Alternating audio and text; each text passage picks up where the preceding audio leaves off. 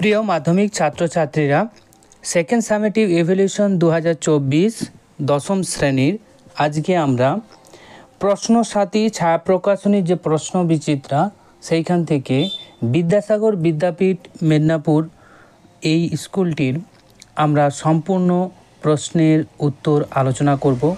প্রথম থেকে শেষ পর্যন্ত অবশ্যই ভিডিওটি দেখবে এবং ভালো লাগলে অবশ্যই লাইক ও সাবস্ক্রাইব করে আমাদের সঙ্গে জুড়ে থাকবে। প্রথমেই দেখো, একের এক আদর্শ গ্যাসের ক্ষেত্রে আয়তন গুণাঙ্ক ও চাপ গুণাঙ্কের অনুপাতের মান কত হবে? তো এখানে উত্তর হবে এক। আদর্শ গ্যাসের ক্ষেত্রে আয়তন গুণাঙ্ক এবং চাপ গুণাঙ্ক একই হবে ওয়ান বাই দুশো তিয়াত্তর, ঠিক আছে?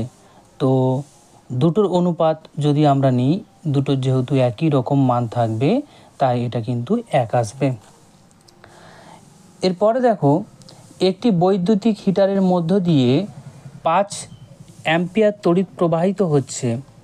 দশ সেকেন্ডে প্রবাহিত আধানের পরিমাণ কত হবে? তো এখানে সঠিক উত্তর হবে পঞ্চাশ, অর্থাৎ সি অপশানটি কারেক্ট হবে। কেন দেখো? কারণ আমরা আধান কিউ সমান জানি আই টি আই বলতে প্রবাহ মাত্রা টি বলতে সময়। তাহলে five into ten equals two fifty coulomb অর্থাৎ সি অপশানটি আমাদের এখানে কারেক্ট হয়ে যাবে। রোধের মাতৃয় সংকেত কি হবে? রোধের মাতৃয় সংকেত হবে M L square T to the power minus three A to the power minus one অর্থাৎ এ অপশানটি কারেক্ট হবে। এরপর আসছি একের চার এসটিপিতে শূন্য দশমিক এক মোল কার্বন ডাইঅক্সাইডের আয়তন কত হবে? এসটিপিতে এক মোলের আয়তন হয় বাইশ দশমিক চার লিটার। তাহলে শূন্য দশমিক এক মোলের আয়তন কত হবে? দুই দশমিক দুই চার লিটার। বি অপশানটি কারেক্ট হবে। এরপরে আসছি একের যে পাঁচ, তড়িৎ বিশ্লেষণের সময় ক্যাথোডে কি ঘটে? ক্যাথোডে ক্যাথোডে সি আর পি বলেছিলাম না? আর হচ্ছে এ নো। অ্যানোডে ঘটবে অক্সিডেশন, ক্যাথোডে ঘটবে রিডাকশান, অর্থাৎ বিজারণ। বি অপশানটি এখানে আমাদের কারেক্ট হবে। ঠিক আছে?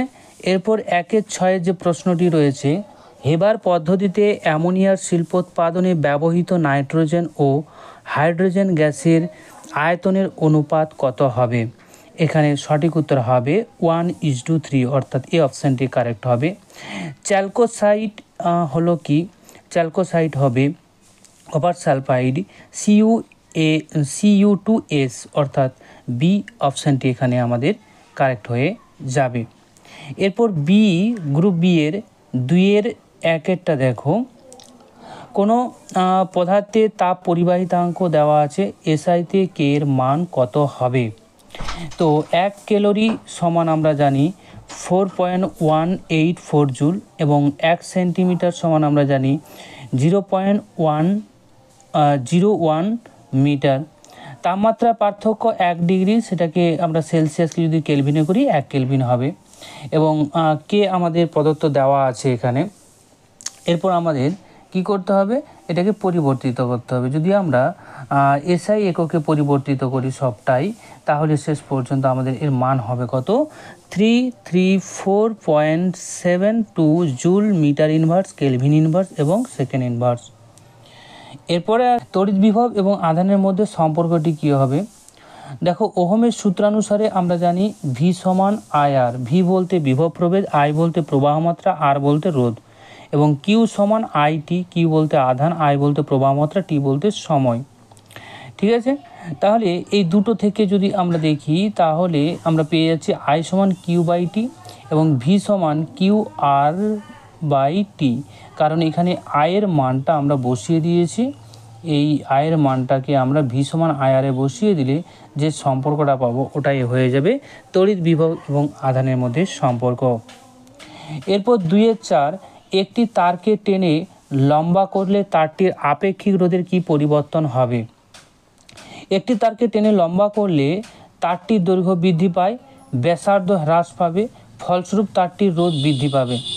ফলে আপেক্ষিক রোধ অপরিবর্তিত থাকবে কারণ এটি পদার্থের একটি একটু গুণগত ধর্ম, তাই আপেক্ষিক যে রোধ, সেটার কিন্তু কোনো পরিবর্তন ঘটবে না।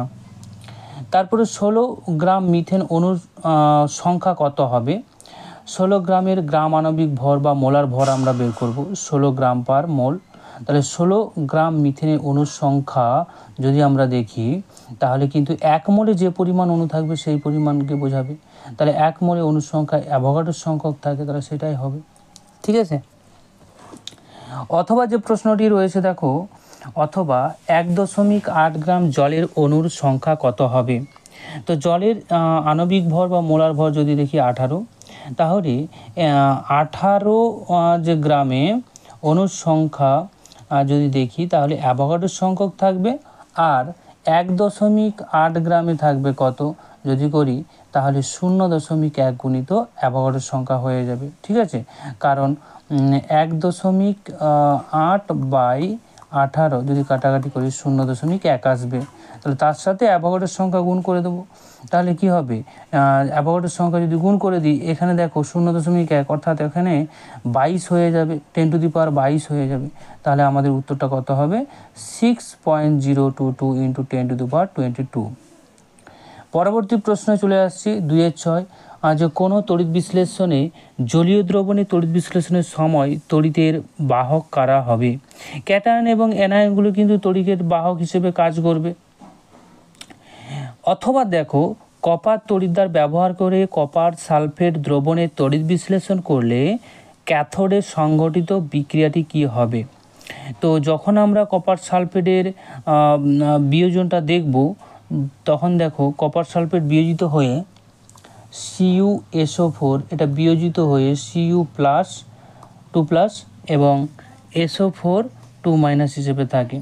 এবার ক্যাথোডে কে যাবে? ক্যাটায়ন যাবে। ক্যাটায়ন সিইউ টু প্লাস গিয়ে দুটো ইলেকট্রন গ্রহণ করে কপারে অধক্ষিপ্ত হবে। এরপর আসছি বাম পক্ষ, ডান মিলিয়ে লিখো। এটা কেবলমাত্র তোমাদের উত্তর করে দিয়েছি। দেখো কপার পরিশোধনে ক্যাথোডে বিশুদ্ধ কপার ভর বৃদ্ধি ঘটে। বিজারণ ধর্মসম্পন্ন একটি গ্যাস হলো এইচ টু এস আর থার্মিট পদ্ধতি ফেরিক অক্সাইড ঠিক আছে? তো প্রিয় ছাত্রছাত্রীরা, আজকে এই পর্যন্তই করলাম। পরবর্তী ভিডিওতে আমরা গ্রুপ সি এবং গ্রুপ ডি বাকি অংশটা কমপ্লিট করব। ওকে? বাই।